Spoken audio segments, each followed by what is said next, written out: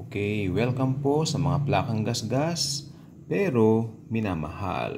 Okay. Ngayon po, let me share sa inyo ang amin pong mga lumang-luma na po. Classic na classic na po ng mga cassette tapes ni Miss Celine Dion. Yan po siya. Bata pa po siya rito sa mga tapes na ito. Amen po ba? No. Ang gaganda po ng mga awitin. Teka lang po, tingnan natin. Featuring the hits, Beauty and the Beast, and if you ask me po, high grade. So, nahin natin itong tape number 1. Let us see kung anong laman. Siyempre. Maliit po yung mga titik, ano, kasi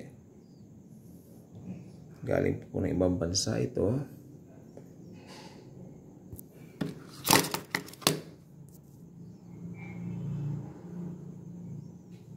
Pero maganda.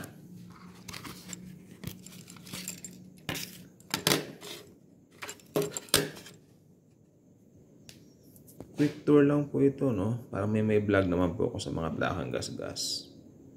Pero, pinamahal. As always. So, ganyan na lang po natin. Para pag nilagay kasi sa case, against the light, maliwanag eh. Hindi po ba? Tama po ba yun?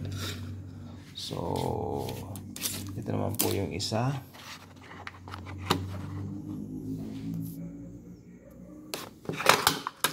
Tignan po natin ang nilalaman.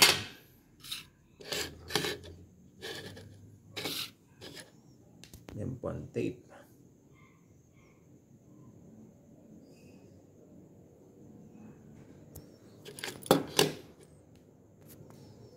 Para may ma-vlog naman po tayo dito sa mga plakang gas-gas pero minamahal.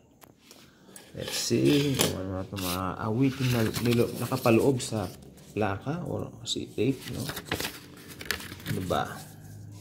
Yan po. Ano ko na lang pong paganito, paki-pause na lang. Yan.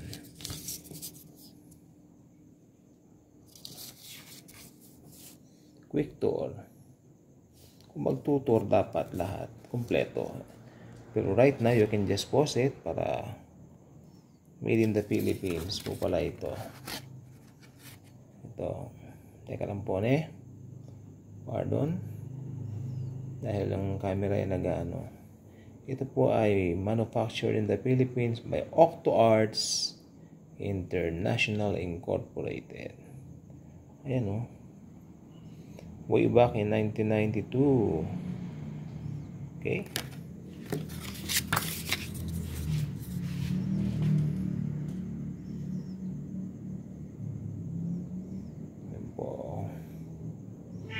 I-post na lang po niyo kasi yung basahin yung mga songs. May introduction pa yan. So, yan.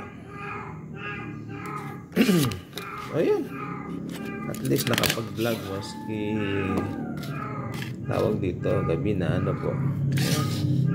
So, sa abo, ayan po ang aming mga old tapes ni Miss Celine Dion. Isa sa pinakamagaling na singer meron tayo ngayon no, sa generation natin. So, Thank you, Jesus. Ayan.